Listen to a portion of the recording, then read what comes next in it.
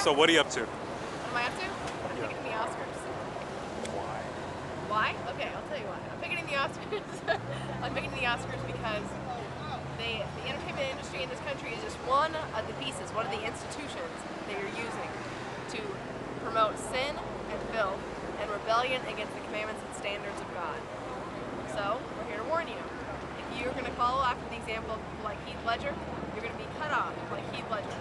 Cut off in his youth, punished by as punishment